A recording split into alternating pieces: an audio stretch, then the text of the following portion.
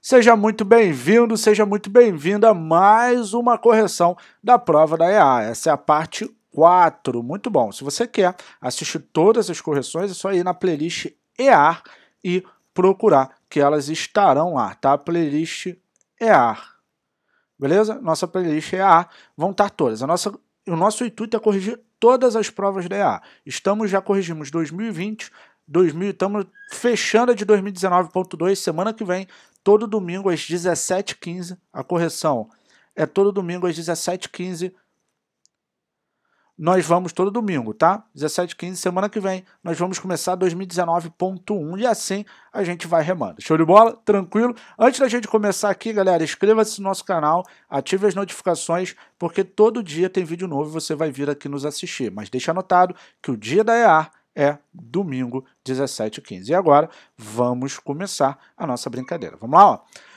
Pessoal, o mais importante que os alunos não entendem é o quê? Muita gente, ah, eu não sei interpretar. Galera, vem comigo. Prova da EA é uma prova que te vence pelo cansaço, né? E para isso, nós criamos o método dos 50, para você aprender a interpretar as questões. Como funciona esse método dos 50? É muito poderoso. Só de ler o problema você resolve 50% dele. Isso mesmo. Então vamos lá. Dois dados são lançados conjuntamente. A probabilidade, ó, já sabe que é probabilidade. Acabou. Tá vendo, sargento? O bizu da soma dos números das fases superiores ser 10 ou maior que 10 é. Ai, meu Deus, olha só. Questãozinha clássica que ele quer a probabilidade da soma ser maior ou igual a 10, beleza? A soma ser maior ou igual a 10 lançando dois dados, tá legal? Então o que, que eu vou fazer? Probabilidade é o que eu quero sobre o total. Vamos achar aqui o que eu quero. O que eu quero? Que a soma desses dados seja maior ou igual a 10. Eu vou ver quantos casos eu tenho. Se a soma dos dados é maior ou igual a 10, a soma pode ser 10 ou 11 ou 12. Renato, por que pode ser 10 ou 11 ou 12? Não pode ser 13, por exemplo, porque a maior soma possível num dado é 6 mais 6. Lembra que o dado termina, vai de 1 a 6. Então a maior soma possível é 12, tá? Aí você vem na humildade aqui encontrar quais números que podem sair para a soma da 10. É, 1, começa, cara, na humildade, começa no 1. 1 e quem dá 10? 9 mas não pode porque não tem 9 no dado. 2 e quem dá 10? 8. Não pode, não tem 8 no dado. 3 e quem dá 10? 3 e 7. Não pode, não tem 7 no dado. Opa, 4 e 6 pode. Então, o primeiro número, que a primeira combinação que vai entrar ali vai ser 4 e 6, ok? Aí, galera, achou o primeiro? É só ir subindo de 1 em 1 na humildade. Pegou o bizu? Depois do 4 vai ser 5 e 5. Depois do 5 vai ser 6 e 4. E acabou. Não tem mais ninguém para dar soma 10. Acabou. Então, soma 10 eu tenho essas três chances. Mas a soma pode ser 11 ou 12 também. E aí, ó, aqui começou no 10, começou com 4. No 11 vai começar com 5. Acabou. Olha que legal. 5 e 6 vai dar a soma 11, e depois eu vou ter 6 e 5. Vai crescendo, tá vendo? Como não tem como errar. Você tenta errar, mas não consegue, porque tá tão amarradinho, né? Agora, começou aqui com 5, o 12 vai começar com 6. 6 e 6, beleza? Então, o que eu quero para a soma da 10, eu tenho 6 possibilidades aqui, ó. 1, 2, 3, 4, 5, 6 possibilidades. Agora, o total, galera, você tem que ficar ligado. Você, aluno que já está na manha, já sabe que o total é 36, mas o total você acha assim, ó. Você lança o primeiro e lança o segundo dado. No primeiro dado, você tem seis possibilidades. No segundo, você também tem seis. Quando multiplicar, isso vai dar 36. Então, qual é a probabilidade da soma ser maior ou igual a 10. É o que eu quero sobre o total. O que eu quero? 6 num total de... Deixa eu apagar aqui. O que eu quero? 6 num total de quanto? 36. 6 num total de 36. Acabou. É isso. Devemos simplificar de vez em quando ou de vez em sempre? De vez em sempre. Vou dividir geral por 6 logo. 6 dividido por 6 dá 1. 36 por 6 dá 6. Acabou. Então, quanto dá a minha resposta? 1 sexto. Acabou. Marco o V da vitória aqui na letra C. Na prova também vai estar marcado de vermelho, tá bom? Pensamento positivo, meu irmão. Né? Fica ligado. Show de bola? Então bora lá para a próxima. Próxima questão. Opa! Questão de número complexo. Legal. Se é a unidade imaginária dos números complexos, o valor de i elevado a 15 mais i elevado a 17. Família MPP. Sargentão, o que, que tu tem que fazer potências de i? Tem que pegar o expoente e dividir por 4. Lembrar dessa ordemzinha aqui, ó. i elevado a 0 é 1, i elevado a 1 é i, i elevado ao quadrado é menos 1, e i elevado ao cubo é menos i. Lembrar disso. E aí, vamos ver aqui quem é i elevado a 15. Como? Vamos lá. Pega 15, divide por 4. Coisa linda, né? 15 dividido por 4 dá 3. 3 vezes 4 é 12, para 15 sobram 3. Então, i elevado a 15 é a mesma coisa de i elevado a 3. E i elevado a 3 é menos i. Sempre isso. O resto é o i elevado ao resto, tudo bem? Você divide por 4 e sempre é i elevado ao resto. I elevado a 3 é menos i. Então, i elevado a 15 vale menos i. Agora, você vai fazer a mesma coisa com i elevado a 17, para chegar na resposta. Olha que legal. Você vai fazer a mesma coisa. I elevado a 17. Vamos lá? 17 divididos por 4. Vamos lá? Isso daí vai dar 4. 4 vezes 4, 16 para 17, 1. Então, é i elevado ao resto, que é 1. i elevado a 1 é i. Agora, a gente vai pegar e vai resolver a questão. Olha que lindo. Vamos resolver? i elevado a 15 mais i elevado a 17. Quanto é que é i elevado a 15? Menos i. E i elevado a 17 dá i. Então fica menos i mais i. Opa, cortei, cortei. Quanto deu? Zerão, né? Qual é o meu gabarito? Letra C. Marco V da vitória na letra C. Zero trauma também, né? Mais uma aí para zero trauma para a gente arrebentar. Show? Questãozinha que a gente não pode errar. Questãozinha que cai direto. A gente não pode errar. Vamos ver essa daqui. Essa daqui é legal. Ó. Vem comigo.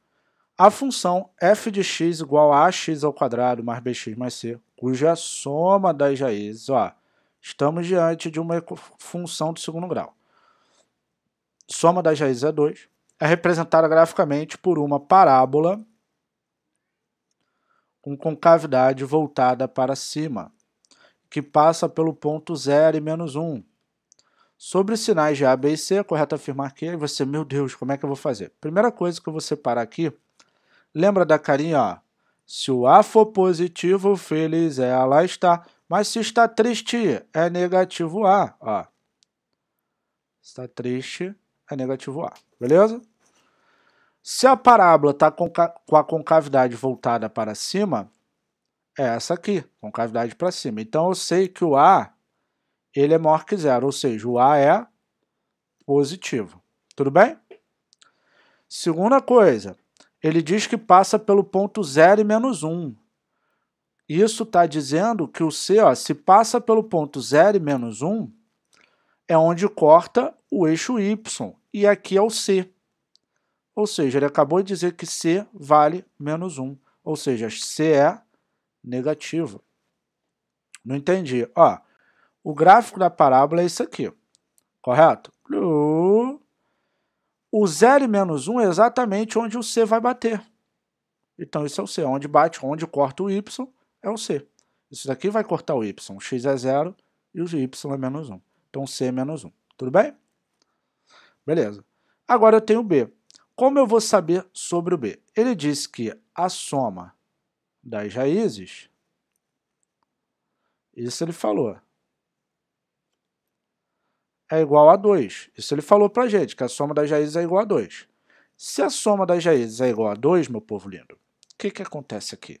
Quem é a soma das raízes? É menos b sobre a.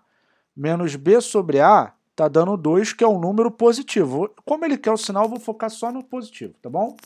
Menos b sobre a está dando um número positivo, tá? Sendo que o a é positivo. Então, você vai ter menos, aqui embaixo mais, falta só o sinal do b, isso dando um resultado positivo, correto ou não? O que, que acontece aqui, galera? Pensa comigo. Menos com mais dá menos. Cara, mas o resultado é positivo. Então, obrigatoriamente, o B deve ser negativo. Por que o B deve ser negativo? Porque aí vai fazer toda essa brincadeira ser positiva. Então, eu tenho que o B é menor do que zero, ou seja, o B é negativo. Tudo bem? Por isso, tá? Por quê? Toda vez aqui, ó, é menos. Como aqui é mais, menos com mais dá menos. Mas esse resultado aqui está dando mais, né? Então, para dar mais, o que, que basta eu fazer? O B ser negativo. Porque aí vai ficar menos com menos, vai chegar. Show de bola? Beleza. Agora que eu sei os sinais do A, do B e do C, galera, agora que eu sei os sinais do A, do B e do C, eu chego no meu resultado, sem me estressar, tá bom? Ou então você pode até saber, pode até anotar, soma das raízes positiva com A positivo, logo o B tem que ser negativo, obrigatoriamente, B negativo. Soma das raízes positiva com A positivo, B negativo, acabou. Aí soma das raízes negativa com A positivo, Renato, B positivo, acabou. B vai ter que ser positivo, acabou. Tá legal? Segue isso daí. Show? Já vai até direto. Agora vamos olhar opção por opção, tá? Letra A, A vezes B maior que zero. O A é positivo e o B é negativo iguais positivos diferentes negativos, ou seja, dá negativo. Ele falou que é maior que zero, está errado. Porque tem que ser menor do que zero. Se é negativo, é menor que zero. Letra B. A vezes C é maior que zero. Cara, o A é positivo e o C é negativo. Não vai dar maior que zero, vai dar menor, tá? Vai ficar mais com menos. B vezes C maior que zero. Ó. B vezes C maior que zero. Ó. B é negativo, C é negativo. Isso vai dar maior que zero. Qual é o meu gabarito? Letra C, marca o V da vitória, morreu. E a letra D está errada porque A vezes B vezes C negativo. Positivo, mais com menos, menos, menos com menos, mais, vai dar positivo, não vai dar negativo. Show? Morreu, zero trauma, então bora lá para próxima, 70. Questão modular, ó. seja f de x igual a módulo de 3x menos 4, uma função, sendo a diferente de b, e f de a igual a f de b igual a 6, então, o valor de A mais B é... Ai, meu Deus. Galera, F está falando de Y, né? Então, o que, que tu tem que fazer? Tu tem que pegar essa função aqui, que é módulo de 3x menos 4, e igualar a 6. É isso que tem que fazer. Pegar ali, igualar a 6. Porque f de A igual a f de B igual a 6. Tu pega a função e iguala a 6. Como é módulo, tem duas situações. Fica 3x menos 4 igual a 6, ou 3x menos 4 igual a menos 6. Porque toda vez que você vai resolver uma equação modular, você mantém o sinal do outro lado e depois você troca o sinal do outro lado. Tá? Tem que analisar os dois, beleza? Aqui no S6, faz mantendo o sinal e faz trocando o sinal dele, tá? Mantém, troca. Tá legal? Vou escrever, mantém e troca. Procura não mexer onde está o x mantém e troca. Tudo bem? Agora vamos resolver. Menos 4 vai para lá mais 3x igual a 6 mais 4. 3x igual a 10. Show? x é igual a 10 terços. Beleza? x é igual a 10 terços. Maravilha? Agora vamos lá. É 3x igual a menos 6 mais 4, tudo bem? 3x igual a menos 2. Menos 6 mais 4, menos 2. x igual a menos 2 terços. Ok? x igual a menos 2 terços. Maravilha. Então, esse é o valor de A esse é o valor de B. Agora, o que, que ele quer? Ele quer A mais B. Qual o valor do A? 10 terços. O valor de B é menos 2 terços. Então, olha que lindo, 10 terços menos 2 terços. Como os denominadores são iguais, a gente repete. 10 menos 2, isso dá 8. Então, quanto dá isso? 8 terços. Marco V da vitória. Letra B de bola. Zero trauma, né? 8 terços, matou. Show? Não erre mais, hein? Vamos para a próxima. Opa! Questão de matriz aí. Meu Deus, matriz, como é que eu faço? Vamos lá. Considere as, tabela, as tabelas das lojas A e B, em que cada elemento AIJ ou BIJ representa o número de unidades vendidas do produto I no dia J. Então, I, você tem que saber o quê? Que representa a linha, logo, a linha está representando o produto aí. Tá legal? I representa a linha, logo a linha está representando quem? O produto. J representa a coluna, sempre. Logo, a coluna está representando o dia, né? Interpretação. Ó. É a quantidade vendida nas duas. Aí, produto I no dia J. Então, linha é produto e J é coluna. Logo, a linha é o produto e a coluna é o dia. Então, vou até montar aqui, ó. Aqui em cima é o dia. 1, 2, 3, 4. E aqui é o produto. Produto 1, produto 2. Pegou a visão? Aqui em cima é o dia. 1, 2, 3, 4. E aqui é o produto. 1, 2. Acabou. Simples assim. Produto, dia. Beleza? Aí você não se estressa. Inter essa interpretação é primordial para você não errar, porque essa questão é uma questão de interpretação. Considerando as quantidades vendidas nas duas lojas juntas, as duas lojas juntas, por dia, o melhor dia de vendas foi o dia, ele quer o dia que as duas venderam mais. Então qual é a maldade? Eu vou vir aqui na, na A e vou pegar os maiores, onde tem os maiores números. Onde tem os maiores números? No dia 3 e no dia 4, acabou. Porque ele quer o dia de mais vendas, então vai ser o dia que tiver os maiores números. Tá legal? Dia 3 e dia 4, beleza? Dia 1 não vai rolar, porque tá ali, né? Aí eu venho aqui no B, ó, o dia, vamos olhar pro dia 3 e o dia 4. Dia 3, dia 4, ó. Dia 3 aqui bateu 9, aqui bateu 9. Nenhum dos outros bateu tanto, né? 9, 9. Aqui o dia 3 bateu 8 e bateu 5. Qual que vai gerar o maior número de vendas? O dia 3, né? Dia 3, acabou. Marco V da vitória. Porque no dia 3, ele vendeu 9 num dia, na, numa coluna, e 8 na outra, ou seja, ele vendeu 17. Nenhuma outra bate ele. Nenhuma outra vai bater ele. Então, é o dia 3. Show? Dia 3, 9 mais 8. Se tu pegar os outros, nenhum vai dar. 6 mais 8, 14. 7 mais 8, 15. Nenhum vai bater. Então, foca nos maiores. Você pode achar dia por dia, mas já foi direto. Maravilha?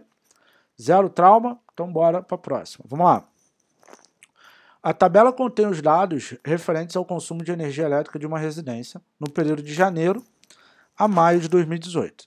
Seja os valores MD, consumo mediano, e ME, MO, consumo modal. Então, eu estou trabalhando com média, deixa eu ajeitar aqui, está caindo, média e moda, tá? É correto afirmar que, ai meu Deus, tem que achar a média e a moda. A moda é fácil, porque a moda é o que mais aparece. Quem mais apareceu? Aqui, ó. Moda é, é muito simples. Moda é o que mais aparece. A moda é 270. Agora, a mediana não adianta. Mediana, para você encontrar, os números têm que estar tá em ordem. Aqui não estão em ordem. Então, eu vou colocar em ordem, do menor para o maior, tá? 220. Depois, qual é o outro? 235. Depois qual é o outro? 250. Depois sobrou 270, 270. Sobraram esses dois. Tudo bem? Quem é a mediana? Como o total aqui é ímpar, a mediana é o cara que está bem no meio, tu já vê. Então, quem é a mediana? A mediana é 250. Tudo lindo, né? Achei a moda e achei a mediana. Acabou. Agora eu vou olhar para a resposta. Letra A, média igual a mo... mediana igual a moda? Não. Letra B, moda é o dobro da mediana? Não, tinha que ser 500. Mediana igual a moda mais 20, não, ó, 250 é a mediana, né? É igual a moda, que é 270 mais 20. Não, não é.